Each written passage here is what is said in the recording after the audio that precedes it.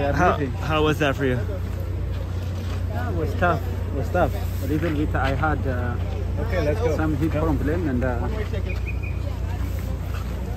yeah, Oh, Sorry. it's really tough. I mean, do you think your fitness wasn't there, or what do you think about the future? Please, Uh, I can take. You know, maybe the fitness not not bad. My fitness not bad, but uh, was a little bit, you know, unbalanced. You know, keep keep unbalanced. Yeah. You know, it's uh, really difficult to Mexico, to try. Yeah. Mexico, Mexico, please. I can take. Yes, thank you. Congratulations. What do you want to do next? the best. I don't know. I don't know yet. Are you still confident in winning a big marathon? Of course. Of course. And did you get?